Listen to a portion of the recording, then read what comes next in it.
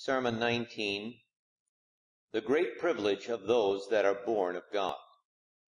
1 John 3, verse 9 Whosoever is born of God doth not commit sin. It has been frequently supposed that the being born of God was all one with the being justified.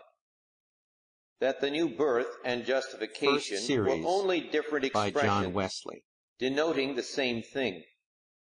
It being certain, on the one hand, that whoever is justified is also born of God, and, on the other, that whoever is born of God is also justified, yea, that both these gifts of God are given to every believer in one and the same moment. In one point of time, his sins are blotted out, and he is born again of God. But though it be allowed that justification and the new birth are, in point of time, inseparable from each other, yet are they easily distinguished as being not the same, but things of a widely different nature. Justification implies only a relative, the new birth, a real change. God, in justifying us, does something for us. In begetting us again, he does the work in us. The former changes our outward relation to God, so that of enemies we become children. By the latter, our inmost souls are changed, so that of sinners we become saints. The one restores us to the favor, the other to the image of God. The one is the taking away the guilt, the other the taking away the power of sin. So that, although they are joined together in point of time, yet are they of wholly distinct natures. The not discerning this, the not observing the wide difference there is between being justified and being born again, has occasioned exceeding great confusion of thought in many who have treated on this subject, particularly when they have attempted to explain this great privilege of the children of God, to show how whosoever is born of God doth not commit sin. In order to apprehend this clearly, it may be necessary, first, to consider what is the proper meaning of that expression, whosoever is born of God, and secondly, to inquire in what sense he doth not commit sin. First, we are to consider what is the proper meaning of that expression, whosoever is born of God. And in general, from all the passages of Holy Writ wherein this expression, the being born of God, occurs, we may learn that it implies not barely the being baptized or any outward change whatever, but a vast inward change, a change wrought in the soul by the operation of the Holy Ghost, a change in the whole manner of our existence. For from the moment we are born of God, we live in quite another manner than we did before. We are, as it were, in another world. The ground and reason of the expression is easy to be understood. When we undergo this great change, we may, with much propriety, be said to be born again, because there is so near a resemblance between the circumstances of the natural and of the spiritual birth, so that to consider the circumstances of the natural birth is the most easy way to understand the spiritual. The child which is not yet born subsists indeed by the air, as does everything which has life, but feels it not, nor anything else, unless in a very dull and imperfect manner. It hears little, if at all, the organs of hearing being as yet closed up. It sees nothing, having its eyes fast shut, and being surrounded with utter darkness. There are, it may be, some faint beginnings of life when the time of its birth draws nigh, and some motion consequent thereon, whereby it is distinguished from a mere mass of matter, but it has no senses. All these avenues of the soul are hitherto quite shut up. Of consequence, it has scarce any intercourse with this visible world, nor any knowledge, conception, or idea of the things that occur therein. The reason why he that is not yet born is wholly a stranger to the visible world is not because it is afar off. It is very nigh. It surrounds him on every side. But partly because he has not those senses. They are not yet opened in his soul whereby alone it is possible to hold commerce with the material world, and partly because so thick a veil is cast between, through which he can discern nothing. But no sooner is the child born into the world than he exists in a quite different manner. He now feels the air with which he is surrounded, and which pours into him from every side, as fast as he alternately breathes it back to sustain the flame of life.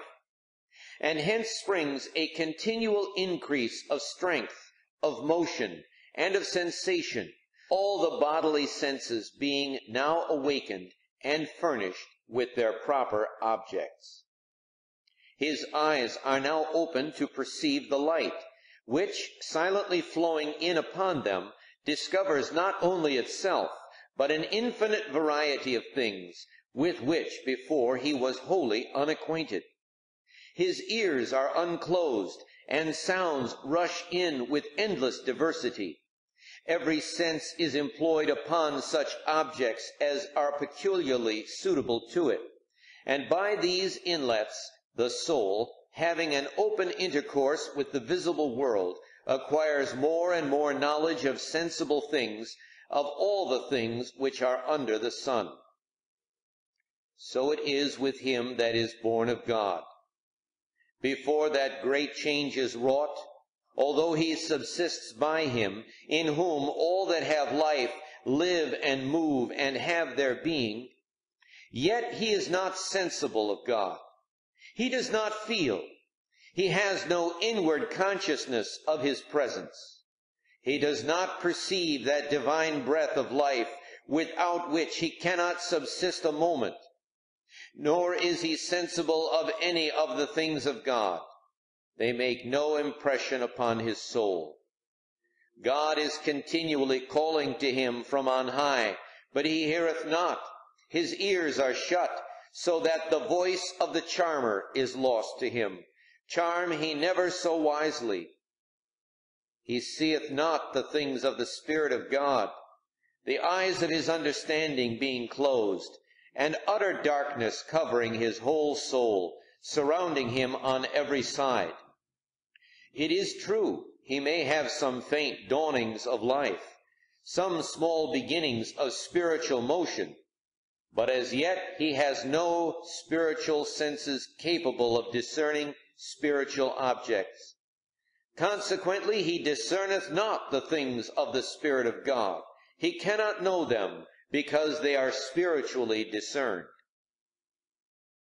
Hence he has scarcely any knowledge of the invisible world, as he has scarce any intercourse with it. Not that it is afar off. No, he is in the midst of it. It encompasses him round about. The other world, as we usually term it, is not far from every one of us. It is above and beneath and on every side.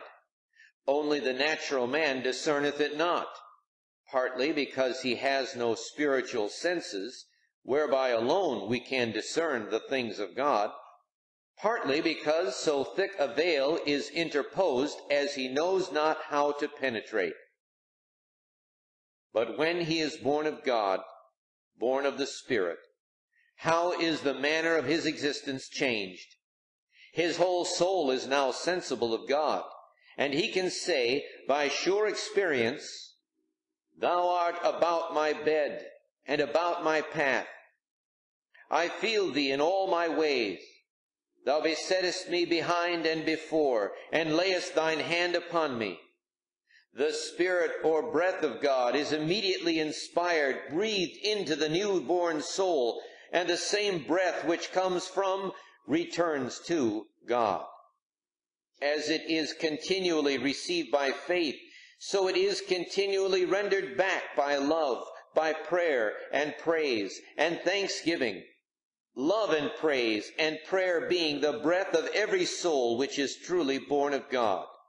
And by this new kind of spiritual respiration, spiritual life is not only sustained, but increased day by day, together with spiritual strength and motion and sensation, all the senses of the soul being now awake and capable of discerning spiritual good and evil. The eyes of his understanding are now open, and he seeth him that is invisible. He sees what is the exceeding greatness of his power, and of his love toward them that believe. He sees that God is merciful to him, a sinner, that he is reconciled through the Son of his love he clearly perceives both the pardoning love of God and all his exceeding great and precious promises. God who commanded the light to shine out of the darkness hath shined and doth shine in his heart to enlighten him with the knowledge of the glory of God in the face of Jesus Christ. All the darkness is now passed away and he abides in the light of God's countenance. His ears are now opened, and the voice of God no longer calls in vain. He hears and obeys the heavenly calling. He knows the voice of his shepherd. All his spiritual senses being now awakened, he has a clear intercourse with the invisible world, and hence he knows more and more of the things which before it could not enter into his heart to conceive.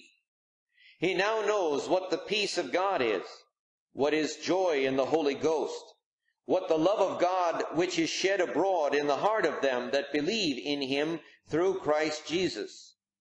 Thus the veil being removed, which before interrupted the light and voice, the knowledge and love of God, he who is born of the Spirit, dwelling in love, dwelleth in God, and God in him. Having considered the meaning of that expression, whosoever is born of God, it remains, in the second place, to inquire in what sense he doth not commit sin.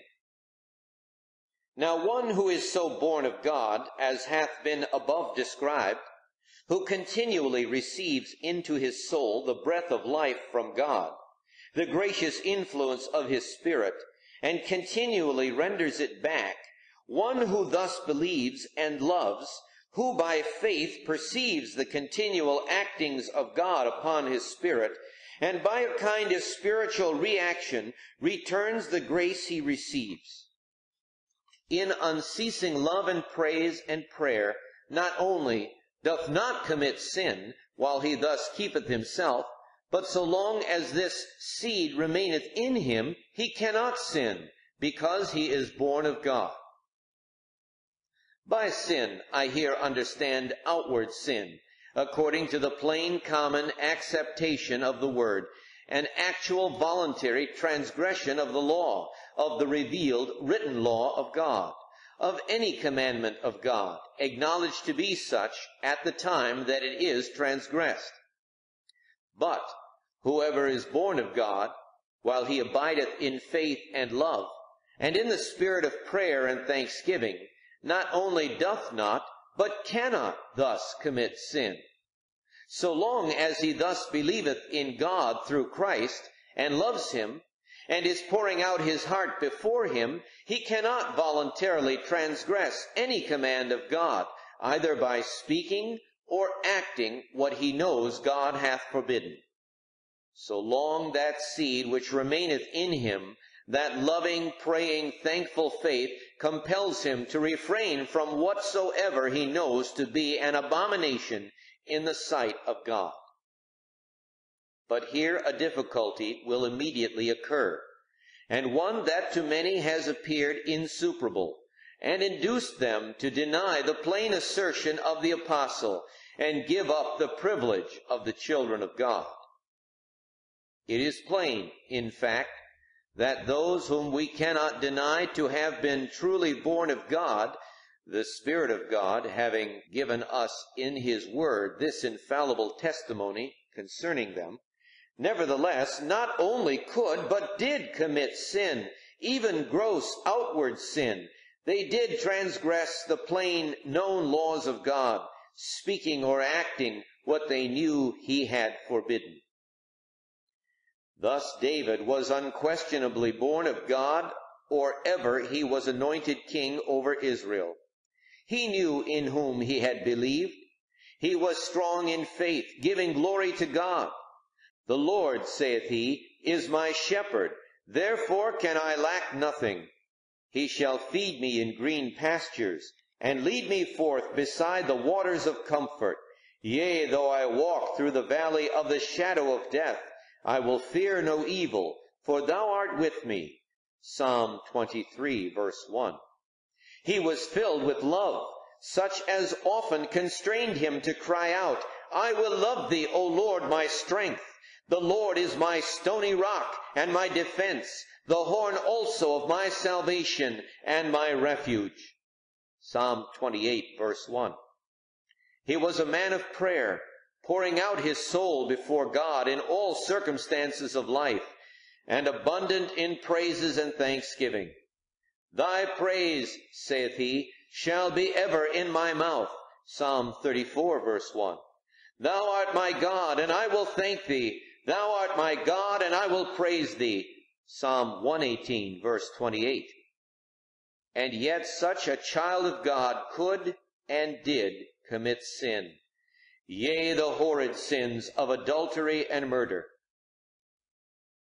And even after the Holy Ghost was more largely given, after life and immortality were brought to light by the gospel, we want not instances of the same melancholy kind, which were also doubtless written for our instruction. Thus, he who, probably from his selling all that he had and bringing the price for the relief of his poor brethren, was by the apostles themselves surnamed Barnabas, that is, the son of consolation, Acts 4 verses 36, 37, who was so honored at Antioch as to be selected with Saul out of all the disciples to carry their relief unto the brethren in Judea, Acts 11, 29 and 30. This Barnabas, who at his return from Judea was, by the peculiar direction of the Holy Ghost, solemnly separated from the other prophets and teachers for the work whereunto God had called him. Acts 13 verses 1 to 4. Even to accompany the great apostle among the Gentiles and to be his fellow laborer in every place. Nevertheless was afterwards so sharp, Acts 15 verse 35 and 39, in his contention with St. Paul because he thought it not good to take with them John in his visiting the brethren a second time, who had departed from them from Pamphylia and went not with them to the work, that he himself also departed from the work, that he took John and sailed unto Cyprus, Acts 15 verse 39, forsaking him to whom he had been in so immediate a manner joined by the Holy Ghost. An instance more astonishing than both of these is given by St. Paul in his epistle to the Galatians. When Peter the aged, the zealous, the first of the apostles, one of the three most highly favored by his Lord, was come to Antioch, I withstood him to the face, because he was to be blamed. For before that certain came from James, he did eat with the Gentiles the heathens converted to the Christian faith, as having been peculiarly taught of God that he should not call any man common or unclean. Acts 10 verse 28. But when they were come, he separated himself, fearing them which were of the circumcision. And the other Jews dissembled likewise with him, insomuch that Barnabas also was carried away with their dissimulation. But when I saw that they walked not uprightly, according to the truth of the gospel, I said unto Peter before them all, If thou, being a Jew, livest after the manner of the Gentiles, not regarding the ceremonial law of Moses, why compellest thou the Gentiles to live as do the Jews? Galatians 2 verse 11. Here is also plain, undeniable sin committed by one who was undoubtedly born of God. But how can this be reconciled with the assertion of St. John, if taken in the obvious literal meaning, that whosoever is born of God doth not commit sin? I answer, what has been long observed is this. So long as he that is born of God keepeth himself, which he is able to do by the grace of God, the wicked one toucheth him not. But if he keepeth not himself, if he abide not in the faith, he may commit sin even as another man. It is easy, therefore, to understand how any of these children of God might be moved from his own steadfastness and yet the great truth of God, declared by the apostle, remains steadfast and unshaken. He did not keep himself by that grace of God which was sufficient for him. He fell step by step, first into negative inward sin, not stirring up the gift of God which was in him, not watching unto prayer, not pressing on to the mark of the prize of his high calling, then into positive inward sin, inclining to wickedness with his heart, giving way to some evil desire or temper. Next he lost his faith, his sight of a pardoning God, and consequently his love of God, and being then weak and like another man, he was capable of committing even outward sin. To explain this by a particular instance, David was born of God and saw God by faith. He loved God in sincerity. He could truly say, Whom have I in heaven but thee? And there is none upon earth, neither person nor thing that I desire in comparison of thee. But still there remained in his heart that corruption of nature, which is the seed of all evil. He was walking upon the roof of his house 2 Samuel 11 verse 2. Probably praising the God whom his soul loved when he looked down and saw Bathsheba. He felt a temptation, a thought which tended to evil. The Spirit of God did not fail to convince him of this. He doubtless heard and knew the warning voice, but he yielded in some measure to the thought and the temptation began to prevail over him. Hereby his spirit was sullied. He saw God still, but it was more dimly than before. He loved God still, but not in the same degree, not with the same strength and ardor of affection. Yet God checked him again, though his spirit was grieved. And his voice, though fainter and fainter, still whispered, Sin lieth at the door. Look unto me, and be thou saved. But he would not hear. He looked again, not unto God, but unto the forbidden object, till nature was superior to grace, and kindled lust in his soul. The eye of his mind was now closed again, and God vanished out of his sight. Faith the divine supernatural intercourse with God and the love of God ceased together. He then rushed on as a horse into the battle and knowingly committed the outward sin. You see the unquestionable progress from grace to sin. Thus it goes on from step to step. One, the divine seed of loving, conquering faith remains in him that is born of God. He keepeth himself by the grace of God and cannot commit sin. Two, a temptation arises, whether from the world, the flesh, or the devil. It matters not. Three, The Spirit of God gives him warning that sin is near, and bids him more abundantly watch unto prayer. 4. He gives way, in some degree, to the temptation, which now begins to grow pleasing to him. 5. The Holy Spirit is grieved, his faith is weakened, and his love of God grows cold. 6. The Spirit reproves him more sharply and saith, This is the way, walk thou in it. 7. He turns away from the painful voice of God and listens to the pleasing voice of the tempter. 8.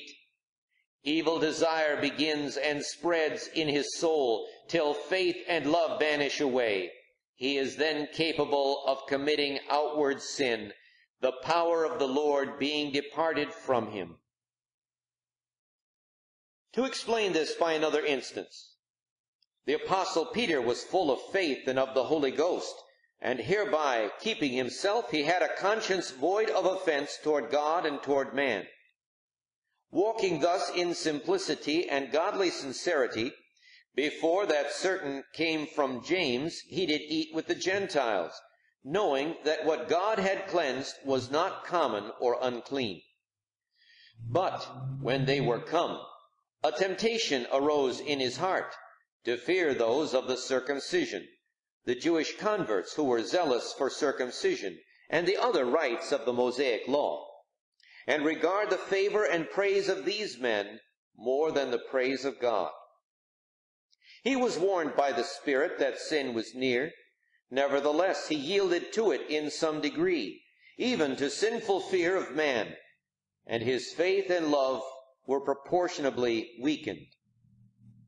God reproved him again for giving place to the devil.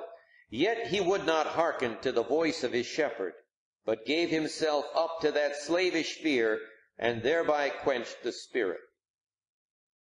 Then God disappeared, and faith and love being extinct, he committed the outward sin, walking not uprightly, not according to the truth of the gospel. He separated himself from his Christian brethren, and by his evil example, if not advice also, compelled even the Gentiles to live after the manner of the Jews, to entangle themselves again with that yoke of bondage from which Christ had set them free. Thus it is unquestionably true that he who is born of God, keeping himself, doth not, cannot commit sin. And yet, if he keepeth not himself, he may commit all manner of sin with greediness. From the preceding considerations, we may learn first to give a clear and incontestable answer to a question which has frequently perplexed many who were sincere of heart.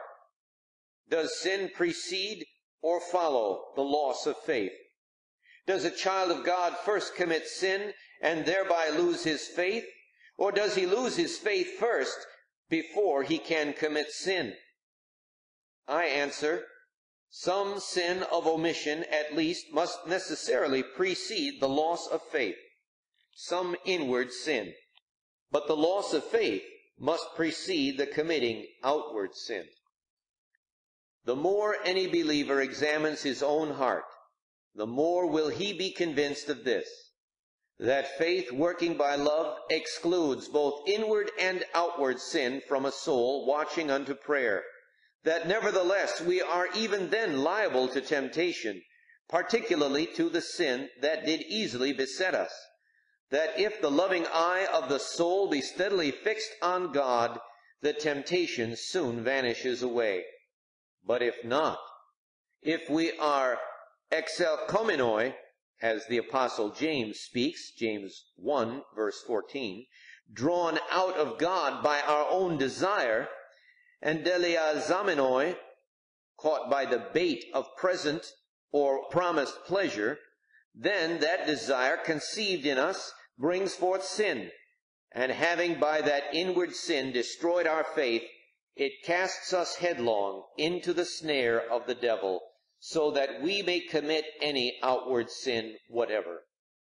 From what has been said, we may learn, secondly, what the life of God in the soul of a believer is, wherein it properly consists, and what is immediately and necessarily implied therein.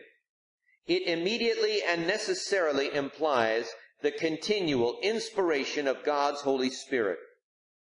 God's breathing into the soul, and the soul's breathing back what it first receives from God. A continual action of God upon the soul, and a reaction of the soul upon God.